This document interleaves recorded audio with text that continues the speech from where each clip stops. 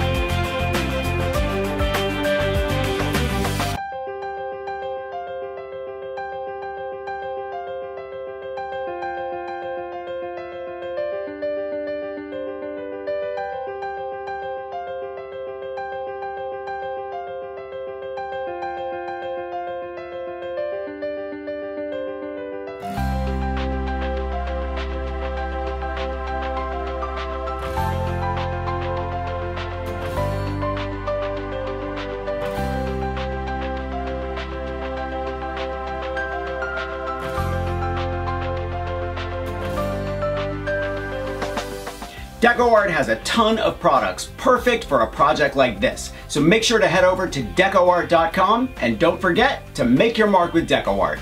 See you next week.